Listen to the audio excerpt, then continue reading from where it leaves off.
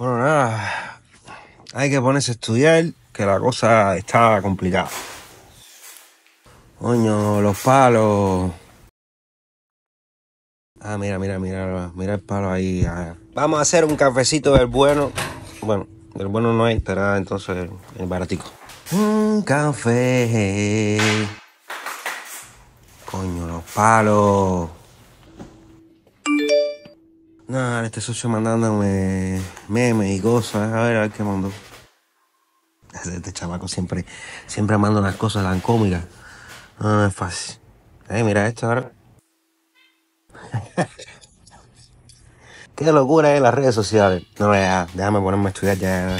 No, ya, no pasa como dos horas. En serio. No traje los palos otra vez. Pero, oye, esto del déficit de atención me está volviendo un poquito loco. ¿Por qué la gente de los bancos también no tienen déficit de atención así para que se les olvide ya cobrarte? Ah, no, el que tiene el problema es uno. No.